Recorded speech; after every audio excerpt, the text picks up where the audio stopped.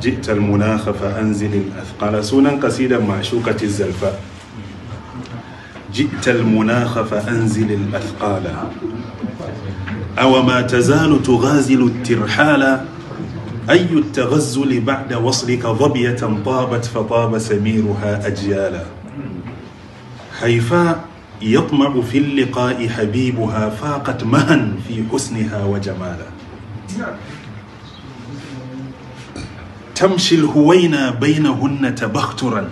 Ita jami'atul islamiyya ke tamshil huwaina baina hunna tabakturan. In ka ganta kamar a hankali take tafiya amma tafiyar kasaita ce. Ta ɗaran ma tsara.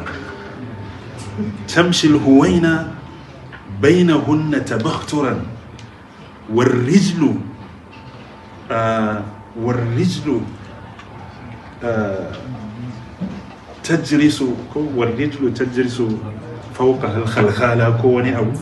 Ma'ana tana tafiya cikin kasaita a kafarta akwai halkhal a ɗabi'ar duk macen da kaga tana sa halkhal yana nuna cewa ta yadda da kanta kuma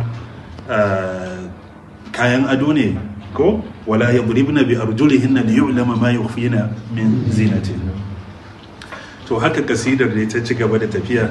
Wanda ɗazuna faɗi dalilin kasidar ɗaya daga cikin ɗan uwa yan uwa da yake ganin cewa kamar gare ya koma ya je harkar boko ya bar madina to shine nake masa wannan nasihar cewa ainan ne wajen yada zango kar ka damu in ka samu wannan alkhairin. Kuma wallahi haka ne jama'a.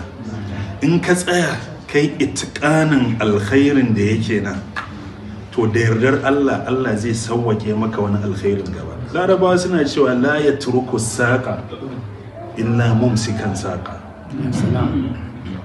la ya turku saƙa illa mumsikan saƙa ba ka sakin wani abu a hannunka ka kama na gaba sai ka tabbatar ka samu wannan kayan ihkamin riƙe shi to sai ka je kuma kai na gaba.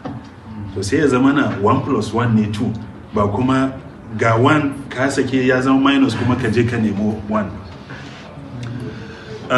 ma'ashukati zalfa kam hiya arda'at min kulli saubin عندها أنجالا فغدوا صناديد العباد أئمة هم عسجد وزبرجد يتلالى والغرب لما أرأوا أصداءها شنوا الهجوم وأكثروا التسآل